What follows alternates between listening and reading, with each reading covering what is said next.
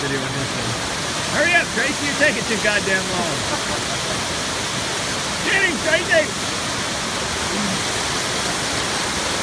Remember, you gotta grab his fur. Shut up.